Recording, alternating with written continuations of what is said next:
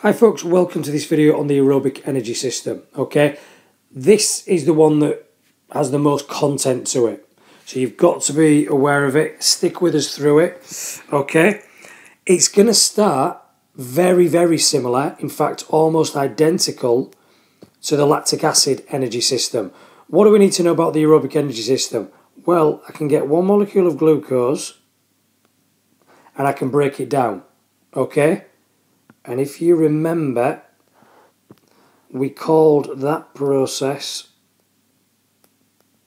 glycolysis. Okay? And from that breakdown of one molecule of glucose, I'm going to get enough energy to resynthesize 2 ATP, and I'm also going to get pyruvic acid, aka pyruvate. Okay, so so far it is absolutely identical to the lactic acid system. However, there's a slight little twist or change. As well as breaking down glucose, I can also break down fats and I can also break down proteins. Okay? So I can use all three energy sources all, all of these three energy sources, sorry, during whilst I'm using my aerobic energy system. Now, glucose, the breakdown of glucose was known as glycolysis. When you break down fats, it has its own special name, and that name is beta oxidation. Okay? So far, it's identical to the lactic acid system. And if you remember, in the lactic acid system, when there was no oxygen available, that turned to lactic acid or lactate. Well, here's the thing look at the name of the system it's aerobic. That's not going to happen. I'm going to have oxygen available, so that is not going to take place. So let's get rid of it. So I suppose the question is, what happens to this pyruvic acid now? If it doesn't turn into lactic acid, what happens to it? Well, the pyruvic or the pyruvic acid enters a mystical, wonderful cycle called Krebs cycle.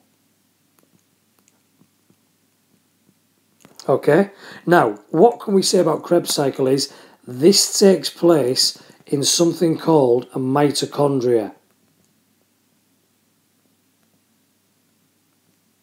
Now, a mitochondria is a power station. Not actually one, but that's basically what it does. It produces high levels of energy. So the Krebs cycle takes place in the mitochondria in a cell. In every cell in your body, there's mitochondria. Okay, or the vast majority of cells in your body is mitochondria. They produce energy via this reaction. So we've got glucose, fats, or protein. One molecule has been broken down.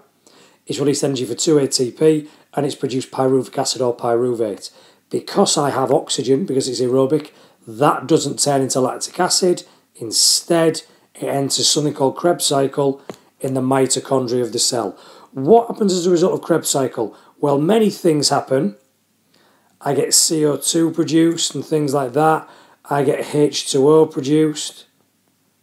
But more crucially, I get energy to resynthesize another 2 ATP by this pyruvic acid getting broken down in this Krebs cycle. And I also get lots of things called H plus ions or hydrogen atoms, whichever you prefer. Hydrogen ions, hydrogen atoms, it doesn't matter. Okay? Now, what is going to happen to these? They then enter the third and final stage of the aerobic system, something called the electron transport chain. Okay? Which again takes place in the mitochondria. Okay, so Krebs, glycolysis doesn't take place in the mitochondria, but Krebs and the electron transport chain both take place in the mitochondria. Okay, so the electron transport chain. What can we say about it? Well, the hydrogen atoms enter it, and there's nothing else to say other than as a result of them entering it, a lot of energy is produced. So much so that I can then resynthesize 32 to 34 more ATP off the back of this energy system. Okay? Now, if you watch the video on the lactic acid system, you'll remember I said one of the downsides to it was that when you broke down glucose, you got a low energy yield, i.e., you didn't produce much energy from the breakdown of glucose, only 2 ATP. Look what's happened here. That one molecule of glucose, or fat or protein, has produced 2, 4, 36 to 38 ATP. So it's produced massively high levels of energy. Okay, so the total yield of this system is 36 to 38 ATP. However, what's the downside to it? This takes time. I can only use it sorry or during sorry submaximal activities. Marathon, Tour de France, long distance running, cycling, swimming, whatever it is. Why? This energy production is not rapid. It's going to take minutes. Usain Bolt tries to use his aerobic system for the 100 metres is going to come last. Okay? This system is not going to be up and running properly, fully effectively until he's finished his lap of honour. So it's going to take time to use this system. Okay? So it's the perfect system if you are like this young lady here going for a long distance run because you've got time to get all the fuels ready, you know, to go through glycolysis, to go through Krebs, to go through electron transport chain. She's going to produce very high levels of energy over a long period of time, which is exactly what she needs to do long distance running. Okay? So the aerobic system is only beneficial to submax or is only used during submaximal activities. However, what you're doing now, sitting still, is submaximal when you're sleeping, that's submaximal.